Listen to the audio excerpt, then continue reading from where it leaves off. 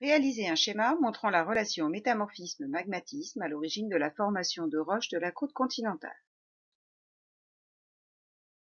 Tout d'abord, réaliser une échelle.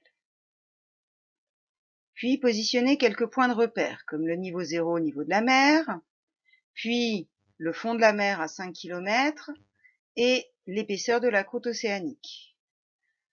Au niveau de la fosse, de la même façon. Puis 10 km, c'est le grand maximum, au niveau de la croûte continentale, la hauteur des volcans. Partir des volcans vers la profondeur, à, peu près 80 km de profondeur, positionner un point, ce sera la zone de formation du magma. À partir de ce point, reporter les 10 km d'épaisseur de la croûte océanique. Puis l'épaisseur de la croûte continentale, le bas de la lithosphère océanique, puis le bas de la lithosphère continentale. À partir de ces points, on va tracer la limite de la croûte océanique plongeante, puis le manteau lithosphérique de cette croûte océanique plongeante, la croûte continentale, le manteau lithosphérique sous la croûte continentale, le manteau asténosphérique des deux côtés.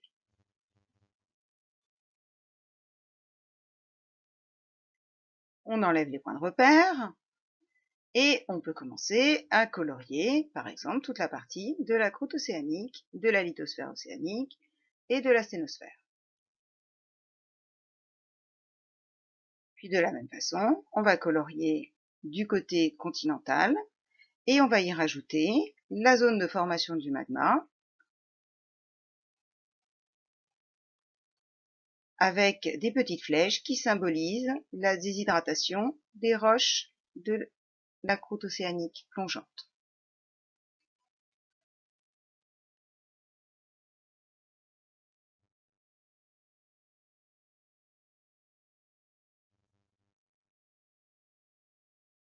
On va maintenant positionner la limite lithosphère-asténosphère par des pointillés qui représentent l'isotherme 1300 degrés puis on va positionner les légendes que nous reporterons sur une page plus tard. Donc en 1, la croûte océanique, en 2, le manteau lithosphérique océanique, en 3, la sténosphère. En 4, la croûte continentale, en 5, le manteau lithosphérique continental, et bien sûr en 3, la même asténosphère. Puis nous positionnons les roches. En A, les métagabros de faciès schiste vert, qui sont des roches de la croûte océanique hydratée.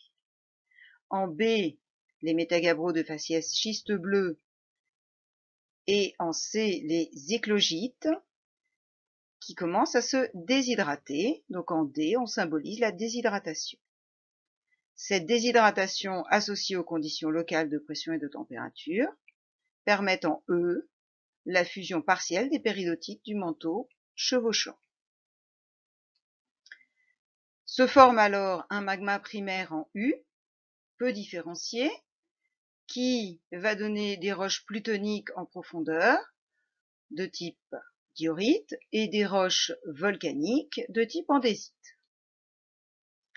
Ce magma va se différencier au cours du temps et des échanges avec les roches encaissantes, qui en refroidissant va donner du granit, des roches plutoniques, et des roches volcaniques de type rhyolite avec un volcanisme explosif caractéristique.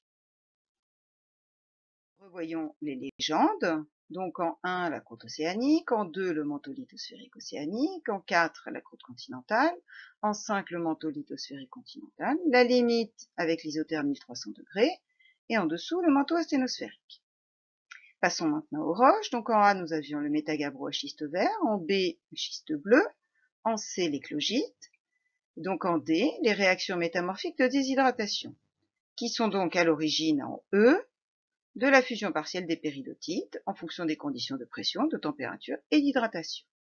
Cette fusion partielle des péridotites est à l'origine en U de la formation d'un magma primaire, qui en se refroidissant va donner des roches plutoniques de type diorite et des roches volcaniques de type andésite. Ce magma primaire va se différencier pour donner des granites en roche plutonique et des rhyolites en roche volcanique.